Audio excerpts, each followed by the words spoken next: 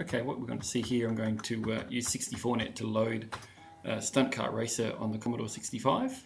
Um, and we'll show it first at normal Commodore 64 speed, and then we'll show it uh, with the Commodore 65 fast mode enabled. So we're just digging through to find the, uh, the game here and loading it up.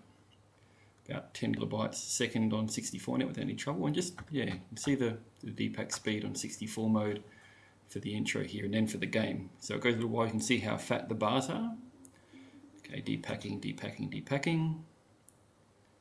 And there's Stunt Car Racer. And yep, skip through. Just a very quick snippet. And then straight from there we're going to go to the Commodore 65 mode. You can see the frame rate is a little bit slow here as is traditional on the 64 with this game. And we'll just go up to around a corner.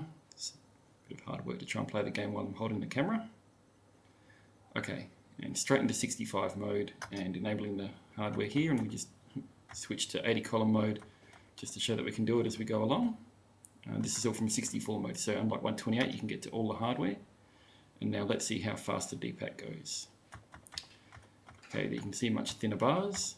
And now watch the game. See, yep, draws very fast, and look how smooth that is in comparison to 64 mode.